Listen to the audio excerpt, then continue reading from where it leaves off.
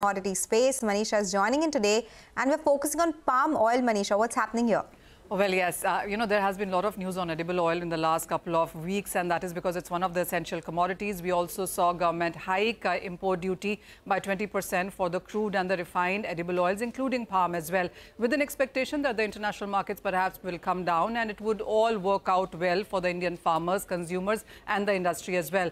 Instead, what we have seen is that the international prices have continued to run up, and the latest reports suggest that Indian refiners, because of this, have cancelled nearly 100,000 tons of of palm oil, which was anticipated to be coming into the country between October to December.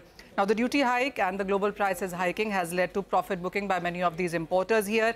Palm oil prices globally have surged up above 4,000 Malaysian ringgit, and the prices are now trading at a 12-week highs, up nearly 7% on week. And that clearly doesn't work in sense of importing it with the kind of rise in prices that we have seen.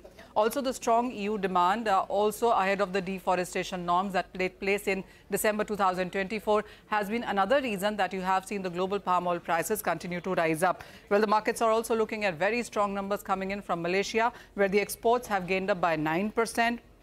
Indian markets will be looking at imports in any case going forward because this is festival season. As of now, there are enough and more supplies. But come the next month, which is October and November, you would be looking at imports. So overall, the, the feeling really is, or the context is that you could be looking at higher edible oil prices in the last quarter of this year, which is also the festival season, by the way. Manisha, thanks a lot for summarizing all things palm oil this morning. For Thank you for that update. Shifting